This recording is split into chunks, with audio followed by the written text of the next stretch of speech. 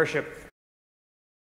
Welcome to any guests who are here tonight. We're glad to have you worship with us. You can follow along in a service folder. There, uh, there's a bunch in the, in the church entry if you'd like. And welcome to those worshiping with us online.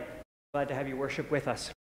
We are beginning a new season of the church here. It's the season of end times. And in the season of end times, maybe that sounds kind of dark and dreary, uh, but actually it's full of hope and joy. And so we're going to be looking at the Psalms of the end times, this season of end times. The Psalms were part of the hymn book of the Old Testament uh, in the Bible, uh, songs that ancient Jews sung as a part of their worship. And so there's a, a lot of great hope and encouragement that we can find uh, in the songs, the Psalms uh, in the Bible. And so we'll be looking at, at that through this four week season of end times. Today we're celebrating the festival of the Lutheran Reformation. And Psalm 46 is what we're looking at today, the basis for which Martin Luther wrote his famous hymn, A Mighty Fortress is Our God. Great hope, great encouragement we'll find in Psalm 46 and the other hymns that we'll uh, sing. Uh, the Lutheran Reformation was really a time that the Lord used uh, that time and that man of Martin Luther to restore the pure gospel to his church. That's what we celebrate today. We celebrate Lutheran Reformation almost always as close to October 31st as we can, which is today, uh, because that commemorates the day that Martin Luther nailed his 95 Theses, his discussion points, uh, to the castle church door in Wittenberg, which sparked and became the catalyst for the movement of the Lutheran Reformation. So that was 501 years ago, 1517. God's blessings uh, on your worship uh, uh today. Let's begin our worship by singing stanzas 1, 3, and 7 of hymn uh, 541, uh, a wonderful uh, Reformation Lutheran hymn.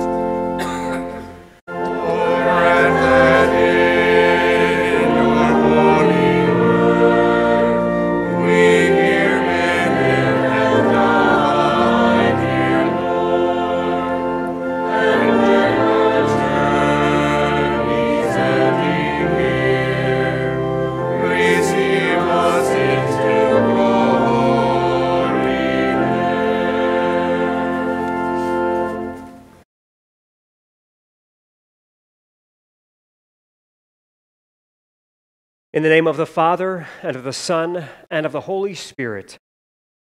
Amen. If we claim to be without sin, we deceive ourselves and the truth is not in us. If we confess our sins, God is faithful and just and will forgive us our sins and purify us from all unrighteousness. Let us confess our sins to the Lord. Holy God, gracious Father, I am sinful by nature and have sinned against you in my thoughts, words, and actions.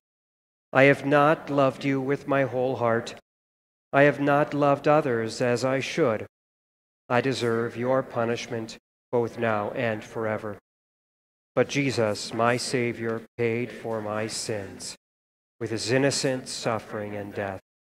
Trusting in him, I pray, God, have mercy on me, a sinner. Our gracious God and Father in heaven has been merciful to us.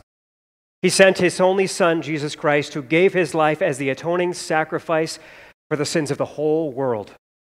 Therefore, as a called servant of Christ and by his authority, I forgive you all your sins in the name of the Father, and of the Son, and of the Holy Spirit. Amen. Let us pray. Gracious Lord, our refuge and strength, pour out your Holy Spirit on your faithful people.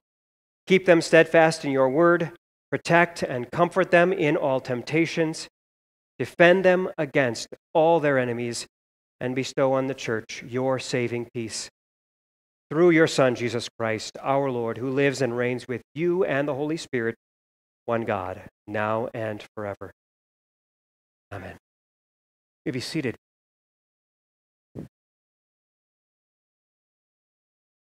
At this time, we'll sing our psalm of the day.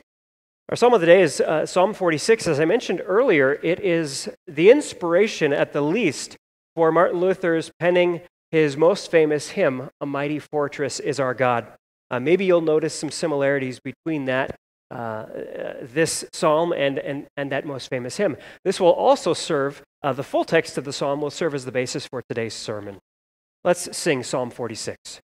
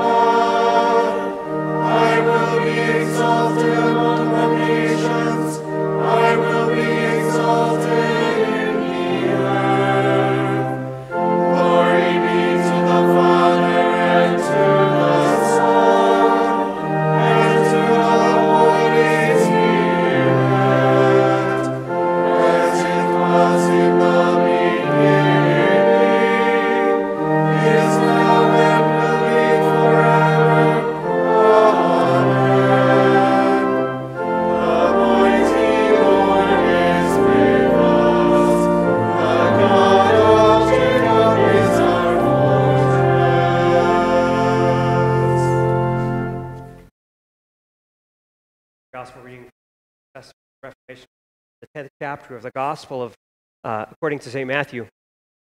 These words of Jesus must have meant something to Martin Luther as much of them were fulfilled in his life.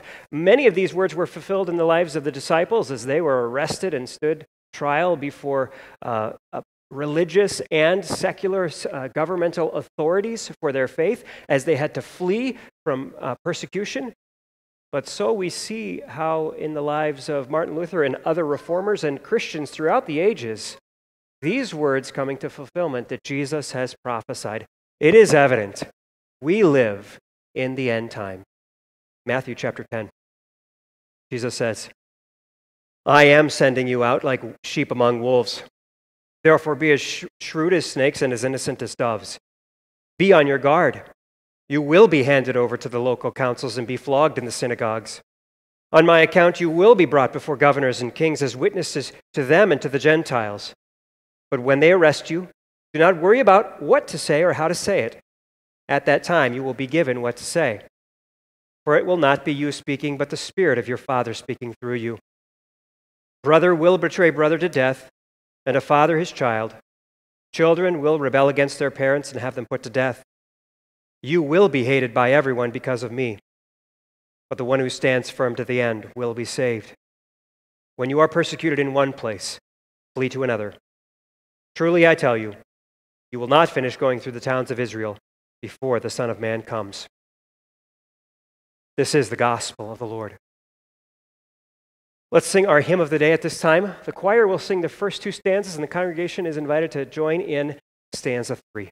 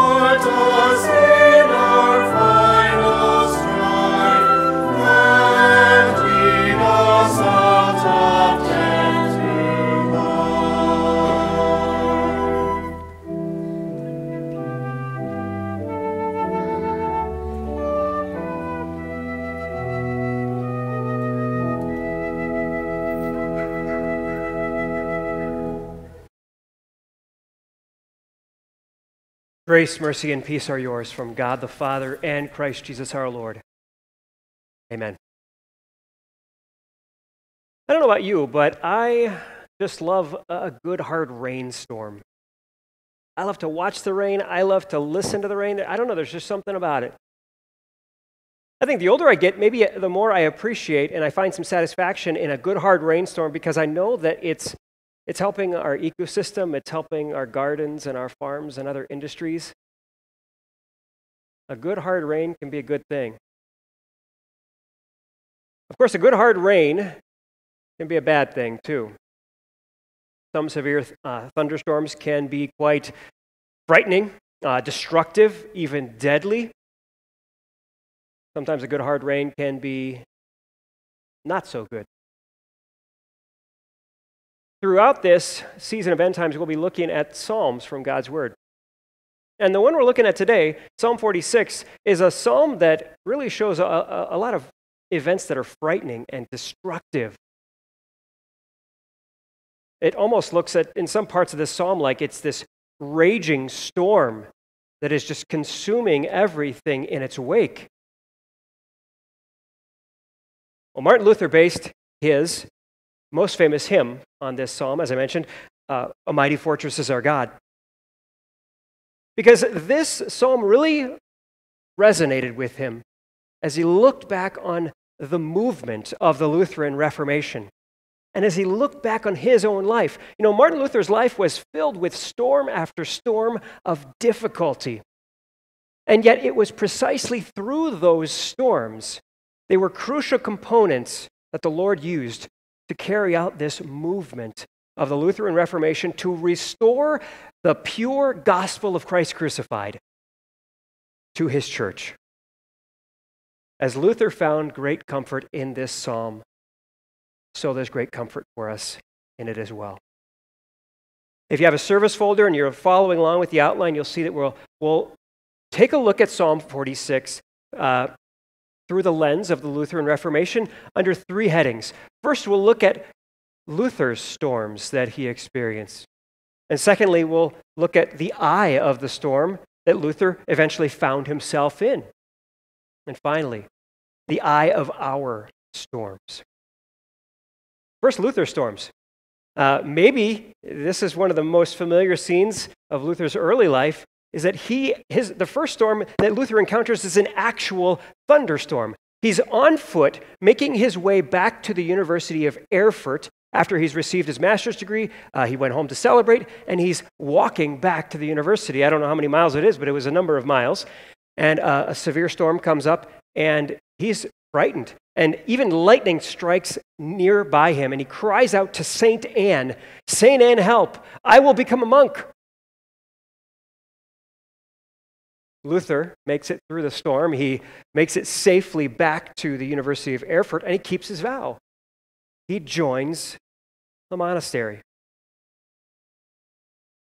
But if we're honest, well, we know that this is not the, the true first storm that Martin Luther experienced. There was a raging storm inside of him that had been brewing for quite some time.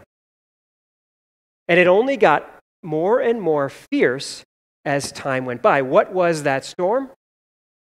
It was this Martin Luther had no peace with God.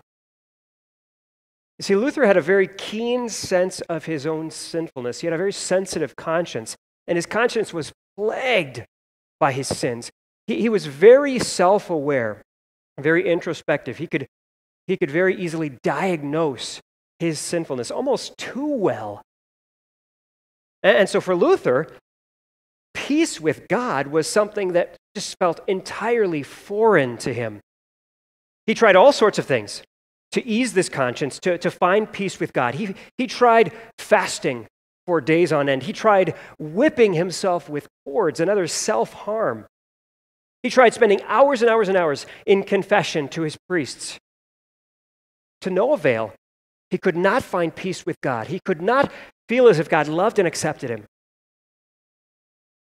Luther tried becoming a monk, and he joined the most uh, severe and most strict order of monks, the Augustinian friars.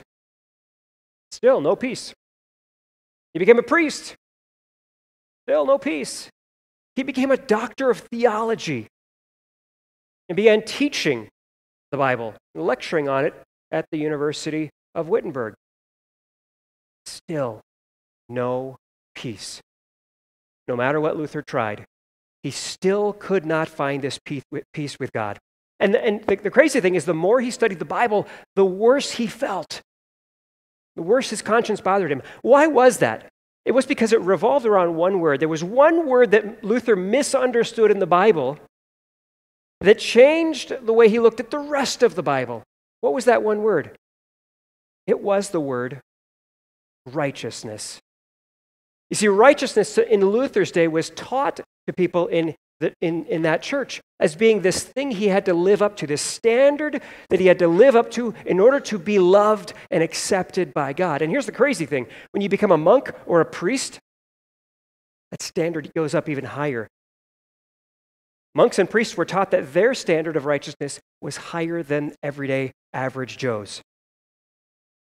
Now, no doubt, Luther had read these words of Psalm 46. He taught them, he lectured on them at the university, but they would not sink in for him. He just couldn't believe and understand how God could be his refuge and strength and ever present help in trouble.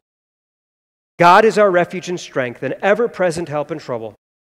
Therefore, we will not fear, though the earth give way and the mountains fall into the heart of the sea, though its waters roar and foam and the mountains quake with their surging. surging.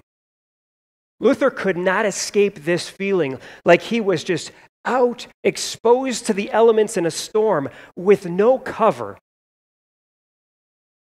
Daily, he battled against that plaguing conscience of his. He, he, he felt as frightened nearly as he did in that actual storm years earlier, but he wasn't scared of, you know, a lightning bolt.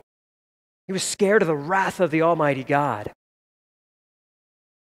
Here's how Luther describes that time in his life.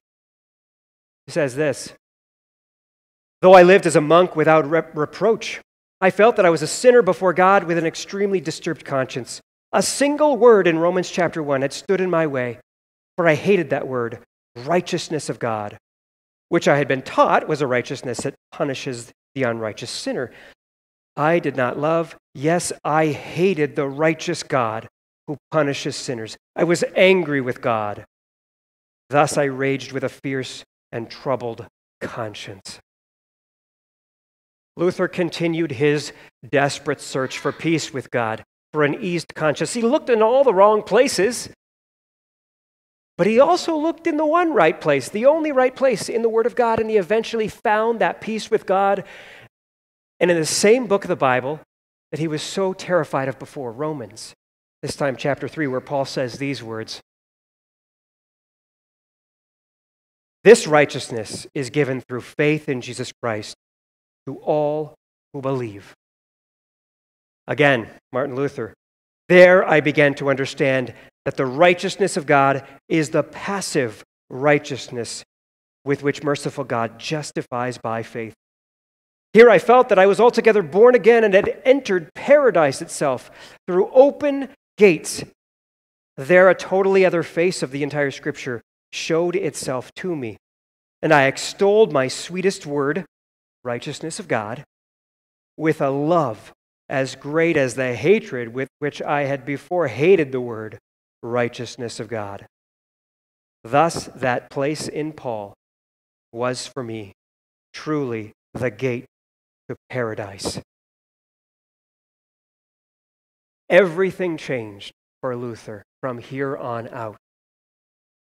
Then, now, he could, he could see Scripture in an entirely new light, all of it, now that he knew the real meaning of that word righteousness as Paul intended it by the Holy Spirit.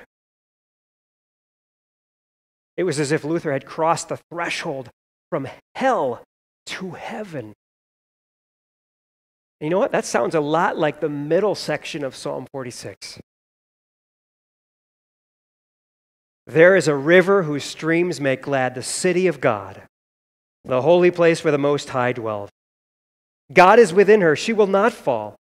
God will help her at the break of day. Nations are in uproar, kingdoms fall. He lifts his voice, the earth melts. The Lord Almighty is with us. The God of Jacob is our fortress. What Luther had found in Holy Scripture was none other than the very city of God, this refuge from the storms of his conscience, with a river running through it uh, of, ever flowing forgiveness. It was like this fortress that he found where he could take shelter from this nagging conscience. Luther had found the eye of the storm. He really had found peace with God by grace alone, through faith alone, all because of Jesus Christ. The righteousness of God in Jesus covers us through faith. Righteousness that is undeserved. but freely given. This is the eye of the storm that Luther discovered in the Bible. Honestly, Luther's going to struggle the rest of his life. Uh, he had such a sensitive conscience that he struggled with that nagging conscience and his own sinfulness his entire life long. He needed to constantly preach that gospel of, of forgiveness in Christ to himself. He needed to daily retreat to the city of God for refuge from his, the storms of his conscience.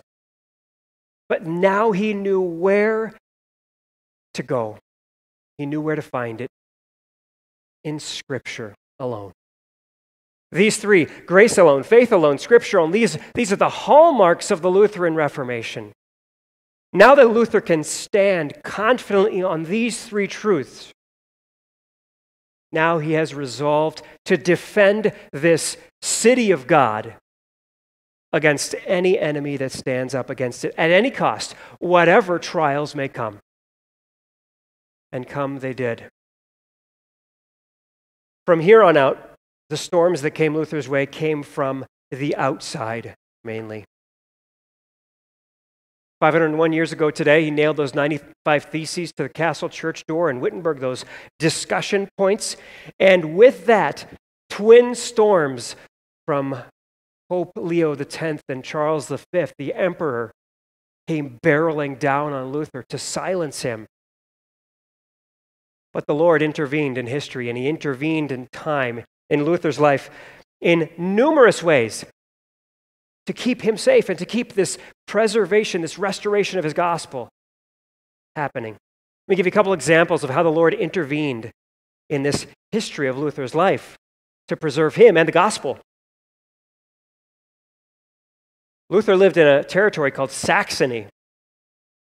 And Saxony, of all Lutheran territories, was, had the most limited reach from Charles V. It, politically, it was set up in such a way that he had the, the least reach into Saxony. Saxony was like this little eye of the storm, geographically, where Luther lived. And not only that, but the, the elector of Saxony, it's like the governor, uh, Frederick the Wise, he was a big fan of Martin Luther. And so, time after time, numerous times, Frederick the Wise went to bat for Luther to, against his enemies that were trying to silence him. Another thing that the Lord did uh, at this time in history was he kept the emperor Charles V overly occupied, otherwise occupied with urgent empire business, so that he kind of left Luther alone during this time. He had cardinals and the Pope trying to make these sneaky power grabs in many of his territories, so he spent all this time and energy worrying about them and not Luther. He had Turks, the Muslims, knocking at the northern borders uh, of, of the Holy Roman Empire, trying to invade. He had his tons of energy and, and, and time and his armies there. And France, France was, was threatening him with all out war. All these storms of difficulty for the Holy Roman Empire swirled around at that time, and yet the Lord by his grace, made sure that Luther was right in the eye of those storms, safe and secure. Now, things eventually came to a head. Uh, the Pope, Leo X, excommunicated Luther. He kicked him out of the church. That didn't end things, though. Luther was still expected to recant, to, uh, to disavow his writings, or else face severe consequences. And so, as it ended up, uh, he had to appear at a meeting where he would uh, you know, be expected to do this. Now, here's another place where Frederick the Wise stepped in and sort of saved Luther's bacon. The Pope wanted Luther to meet in Rome, but Frederick knew if Luther goes to Rome, he's not coming back alive. And so Frederick refused to send Luther to Rome. He said, It's got to be in Germany. And he demanded it. It was a deal breaker. And so the meeting, the Diet, got moved to uh, a town called Worms or Worms. And so in 1521, Luther showed up at Worms, and after a few days, uh, he, he made this famous speech where he stood on the Word of God. He stood on his new discovery of the purity of the, the gospel of Christ crucified before the emperor, before all seven German electors, before all these uh, religious and secular government authorities. Here's how he concluded that most famous speech with these words Unless I am convinced by Scripture and plain reason, my conscience is captive to the Word of God. I cannot and will not recant anything, for to go against conscience is neither right nor safe. Here I stand. I can do no other. God help me. Amen. And God helped Luther. He kept him safe. He, he, kept, he gave him safe passage back home, even though not long after that he was declared an outlaw, wanted dead or alive. The Lord used Frederick the Wise once again, who kidnapped Luther and whisked him off to a secret location, the Castle Coburg, where he spent 10 years. The Castle Coburg became yet again another eye in the storm where Luther was safe and secure. He spent 10 years there at Coburg under a false, uh, under an alias, and he translated the whole Bible into the common language of the people there. After that 10 years, the Lutheran Reformation had taken great hold and it was firmly established. The Lord, though, continued to open doors for the Lutherans. He continued to shut doors for their enemies. And, and now here we stand. We are beneficiaries of that great movement, the Lutheran Reformation. Martin Luther waged war against enemies that were far more powerful than he was by simply standing on the Word of God. He stared down potentially being burned at the stake for doing so. But this was the Lord's fight. It was the Lord's time his chosen time and his chosen man to restore the pure gospel back to his church. It was the Lord who fought for him. It was the Lord who pulled him time and time again into the safe and secure bounds of his fortress city, who defeated those enemies of him. And he brought peace to Luther and, and subsequently many, many souls after that by grace through faith in Scripture. By his efforts, by his life, it was as if Martin Luther was confessing to the world this final section of Psalm 46 in this, this grand invitation. Come and see what the Lord has done. The desolations he has brought on the earth, he makes wars cease to the ends of the earth. He breaks the, the bow and shatters the spear. He burns the shields with fire. He says, Be still and know that I am God. I will be exalted among the nations, I will be exalted in the earth. The Lord Almighty is with us. The God of Jacob is our fortress.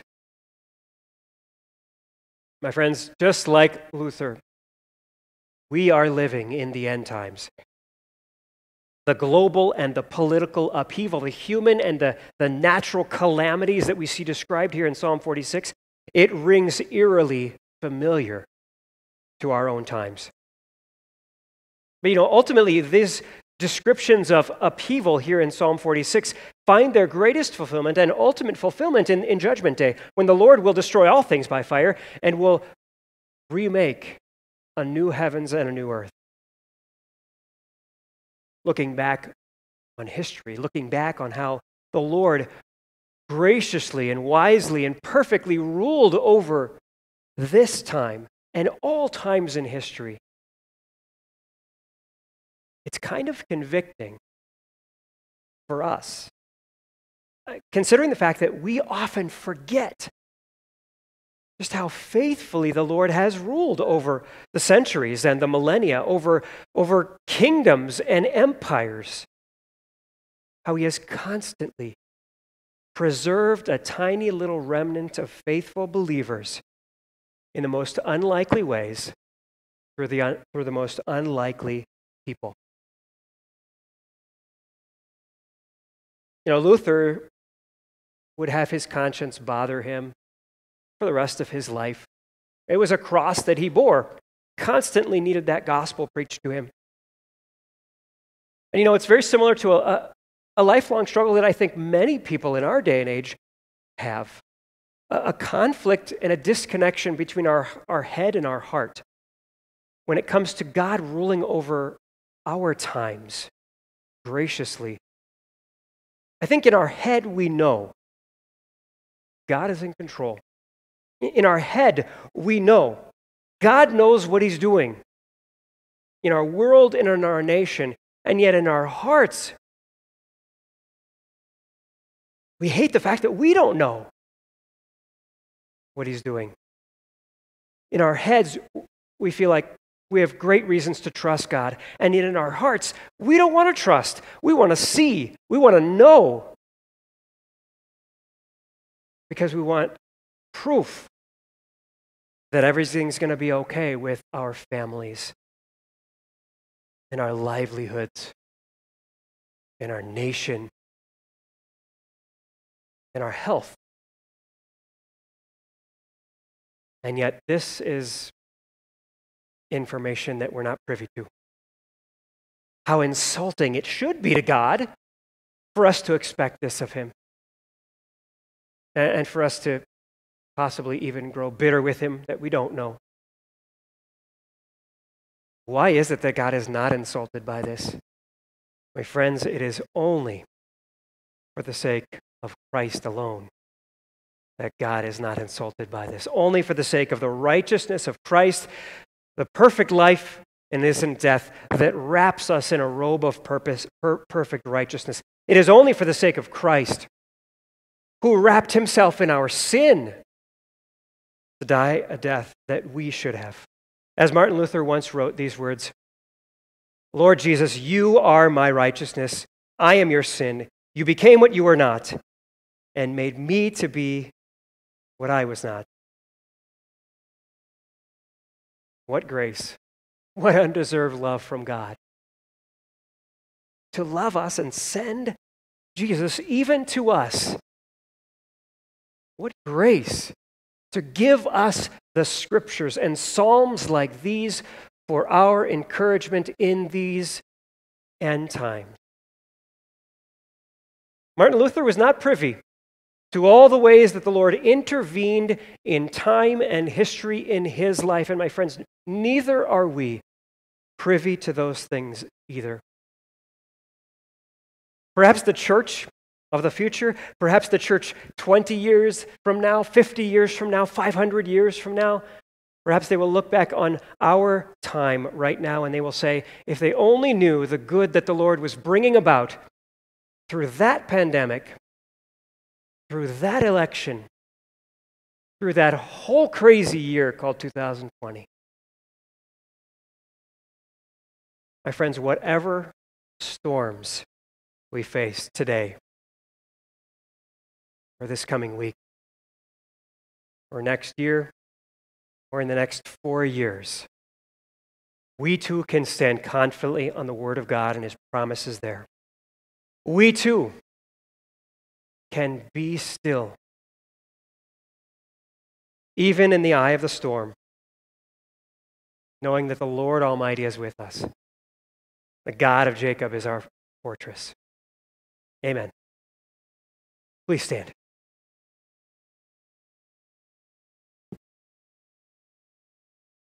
And the peace of God, which transcends all understanding, will guard your hearts and your minds in Christ Jesus. Amen.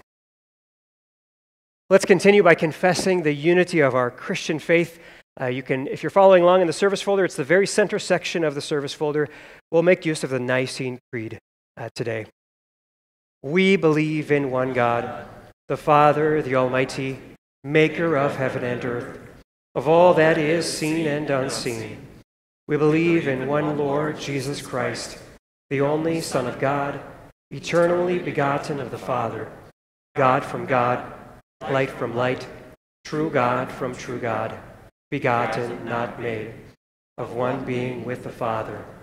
Through him all things were made. For us and for our salvation, he came down from heaven, was incarnate of the Holy Spirit and the Virgin Mary, and became fully human. For our sake he was crucified under Pontius Pilate. He suffered death and was buried On the third day, he rose again in accordance with the Scriptures. He ascended into heaven and is seated at the right hand of the Father. He will come again in glory to judge the living and the dead, and his kingdom will have no end. We believe in the Holy Spirit, the Lord, the giver of life, who proceeds from the Father and the Son, who in unity with the Father and the Son is worshiped and glorified who has spoken through the prophets. We believe in one holy Christian and apostolic church. We acknowledge one baptism for the forgiveness of sins. We look for the resurrection of the dead and the life of the world to come. Amen. Normally at this time we'd gather an offering, but we're still uh, not passing the offering baskets through the, uh, through the pews. Uh, we have the baskets located in the church entry if you'd like to place an offering there, or if, uh, if you're watching online, if you're uh, supporting us by mail or by online giving, we, we certainly want to uh, share our appreciation uh, for your continued support. On the next page in the service folder, we'll continue with a, a, responsive prayer of the church for the Reformation. We'll also include special prayers for, for this week's election, as well as for um, Miss Mandy Treader, who is deliberating our call to teach first grade here next year. Uh, following that, uh, we'll, we'll continue with the, uh, the, the responsive prayers that are printed in the service folder. We pray. Lord, our refuge and strength, we gather to worship and praise you for your ongoing work of reformation in your church. Lord, to you alone be glory. God of grace and unfathomable love, you pitied us sinners and sent your Son as our substitute to deliver us from sin, guilt, death, darkness, and despair. For your grace, Lord, to you alone be glory. By your grace, you sent your Spirit to call us to repentance. Your powerful gospel rescued us from rebellion and fills us with faith in you, the true and living God. For saving faith, Lord, to you alone be glory. By your grace, we are heirs of your eternal word and trustees of the inspired scriptures, through which you proclaim your saving truth to every generation. By the scriptures, you overthrew the darkness of those who perverted your teachings and restored to your church the message of salvation by grace alone. For the holy scriptures, Lord, to you alone be glory. In these last days, O Lord Jesus Christ, protect your little flock. We are like sheep living among fierce wolves. Satan stalks us like a roaring lion. Defend us from false teachers who twist your word to satisfy the latest longing. For wisdom and watchfulness under attack, hear our prayer, O Lord. Never in the history of the world has your holy word been so accessible. We only lack the zeal to treasure your restored truth with lives of faithful Bible study. For the noble character to search the scriptures daily, hear our prayer, O Lord. As we celebrate the Reformation that restored your pure gospel to your church, we also celebrate our common confession of the pure gospel in word and sacrament. For this unity of faith, we give you thanks, O Lord. We remember the faithful confessors of this and former generations who have passed down to us your word of truth. For these faithful servants, we give you thanks, O Lord. Lord God, Lord of nations, you have made us citizens both of your kingdom of grace and of the earthly nation in which we live. You've placed us under a government that gives us the privilege of choosing the leaders who govern us. As another election approach, approaches, help us to appreciate and use this privilege. Enable this election to be free and fair. Enable the polling stations to be safe and free from harassment and violence. Whichever candidates are elected to the various offices, make the days and weeks that follow peaceful. Continue to assure us of your gracious guiding hand over all time and history, that we may trust in you even when the events around us give us cause for concern. Help us to place ourselves, our families, our livelihoods, and our health into your capable hands, today, this week, and always. We pray also for Miss Mandy Treader, to whom we have extended a divine call to teach first grade next year. Bless her time of prayer and conversations and deliberation, and as you have promised, work her decision into a great blessing for your kingdom. Whatever her decision, Let this process increase her zeal for your house and her love for the body of believers. O Lord, we pray all these things in your name. And in thanksgiving for the many and amazing blessings restored to your church through the Reformation, we now commit ourselves to your care. Be our mighty fortress, our trusty shield and weapon, O Lord. We pray the prayer that you taught us Our Father in heaven, hallowed be your name. Your kingdom come, your will be done on earth as in heaven. Give us today our daily bread. Forgive us our sins, as we forgive those who sin against us. Lead us not into temptation, but deliver us from evil. The kingdom, the power, and the glory are yours, now and forever.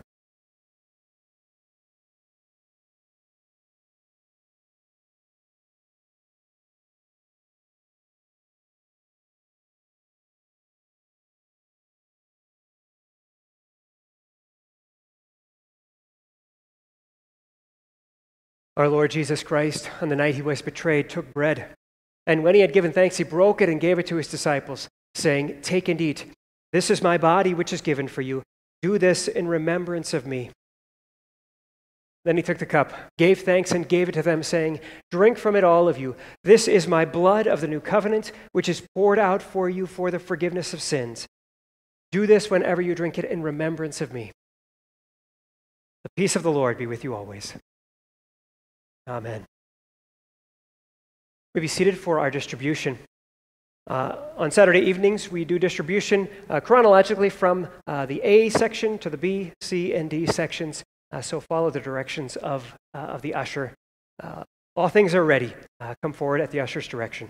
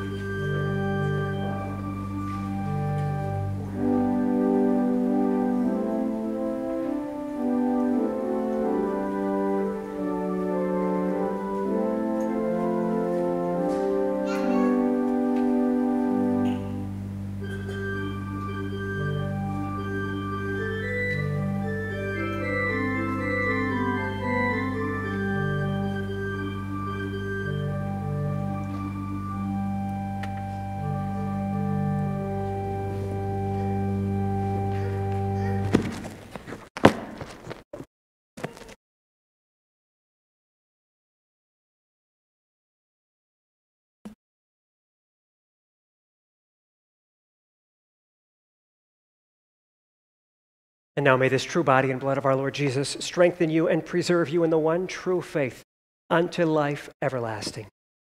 All of your sins are forgiven. Amen. Please stand as we uh, rise for prayer and the Lord's blessing.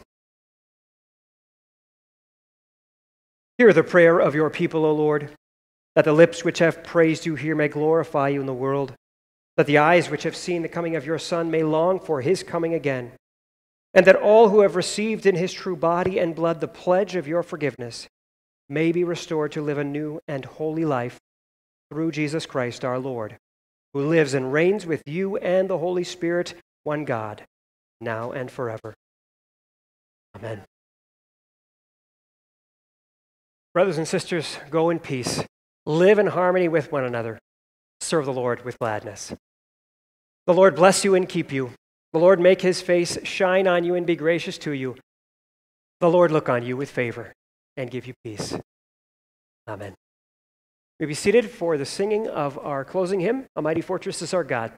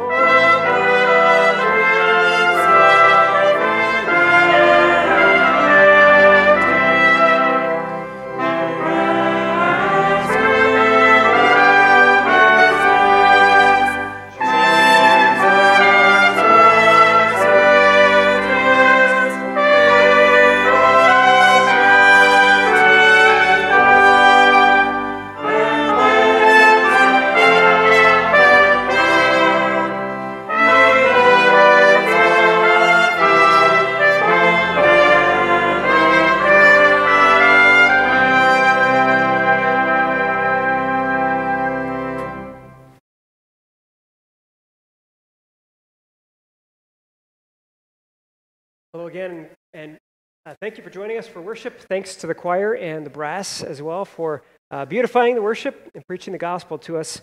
Uh, wonderful to celebrate the Reformation, 501 years on the commemoration of uh, the 95 Theses. A reminder that Mandy Trader, Treader is uh, deliberating our call for first grade for next year, so uh, please keep her in your prayers as well. Um, St. John's Wauwatosa is where she currently serves, uh, so uh, I know she, she certainly appreciates that. Our Bible study on civil government continues. Uh, we have two more lessons. We're splitting the last lesson into two parts because we want to open it up for Q&A uh, tomorrow morning at 9.15. You can uh, show up here in the fellowship hall or on Facebook Live. Uh, there will also go out tonight, uh, what came out, it went out Wednesday in the email, uh, go out tonight again um, a form that you can fill out with just if you have a, a, a Q&A question uh, you want to pose to the pastors uh, for uh, about half the hour um, tomorrow morning will be Q&A. Um, question about civil government and Christians and government, um, that kind of stuff. So I believe that's all the announcements for this evening. Uh, great to worship with everyone tonight. God's blessings and have a great week.